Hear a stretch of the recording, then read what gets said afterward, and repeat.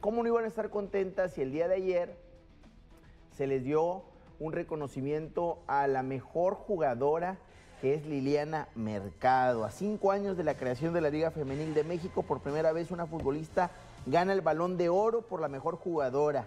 Liliana Mercado, mediocampista de Tigres, fue reconocida con el premio por lo hecho hasta este momento. Ahí estábamos viendo a los dirigentes del equipo de Tigres, agente de la Federación Mexicana de Fútbol, anduvo por acá Miquel Arreola y le entregó este muy merecido reconocimiento a Liliana Mercado, una chica con el número 7, aquí está con todas sus compañeras. Esto fue previo al partido que, ¿qué creen? Pues ganó el equipo de Tigres femenil. Excelente. Volvió